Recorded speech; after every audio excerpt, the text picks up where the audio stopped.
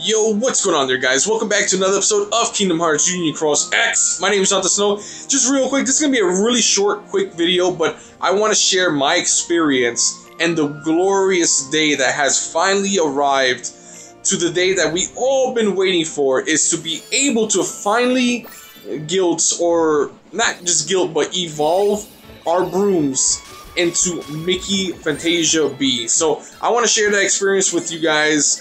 Um, it is very the the day I have been waiting for for over what eight months in the works, give or take. So the hype is here. The day has finally come. It is April 28th, 2017. I got it right this time. And uh, so we're to do it together right now.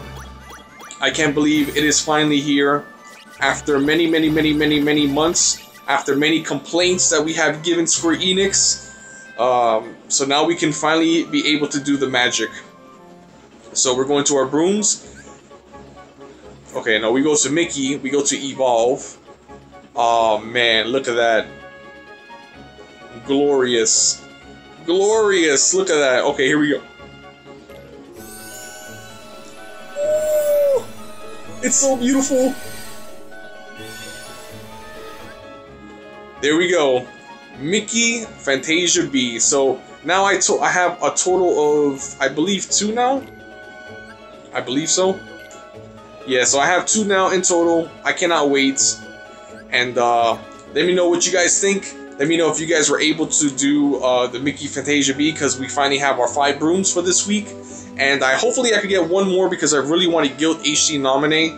And uh, so I think I might have to, because I don't know if the VIP will be coming back next week because it did say limited time, so we don't know if it'll come back every week or every two weeks. So that means that I may have to pull for a Vanitas at least twice so I can be able to guilt HC nominate because we're going to have two more left.